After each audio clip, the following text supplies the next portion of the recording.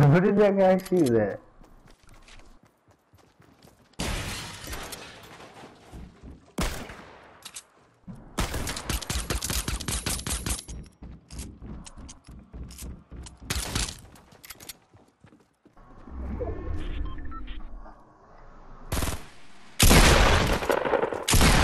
what the fuck?